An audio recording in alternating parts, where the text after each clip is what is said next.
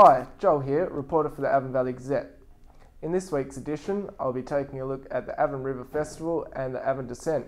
According to one organiser, it was the best event in years. And over in York, show season rolls into town, but organisers are at odds as to where to actually put the festival. And Northam Senior High School are embracing new technology and a new curriculum in a bid to become a global school. To read more, check out this week's Avon Valley Gazette or click to inmycommunity.com.au.